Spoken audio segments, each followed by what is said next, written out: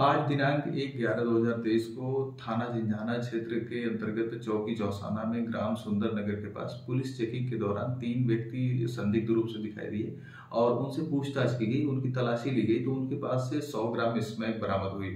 ये तीनों व्यक्ति जिजौला के रहने वाले हैं, इसमें मुरसलीन शनवर और मारूफ हैं। मारूफ के पास से सत्तर ग्राम स्मैक मुरसलीन के पास से पंद्रह ग्राम स्मैक और, सनवर के पास से पंद्रह ग्राम स्मैक बरामद हुई। इस सौ ग्राम स्मैक की कीमत लगभग चार लाख रुपए है। इन्हें गिरफ़्तार करके थाने लाया गया, और इनसे पूछताछ पे पता चला कि ये पहले भी गोवध और, चोरी के मामले में जेल जा चुके हैं। इन्हें गिरफ़्तार करके जेल भेजा जा रहा है। आवश्यक विधिक कार्रवाई की जा रही है।